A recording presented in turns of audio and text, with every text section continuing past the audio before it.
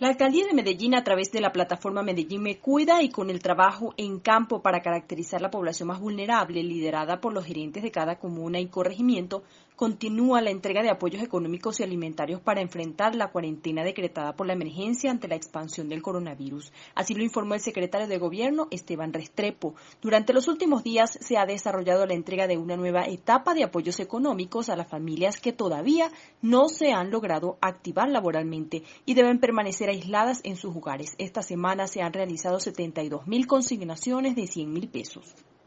A través de Medellín Me Cuida hemos entregado más de 650 mil ayudas a las personas más vulnerables de la ciudad.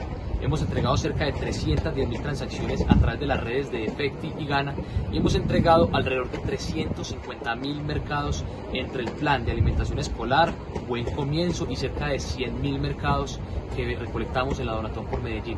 En Medellín estamos cuidando a la gente. El uso de Big Data continúa siendo una herramienta fundamental para localizar las zonas donde se requiere mayor apoyo.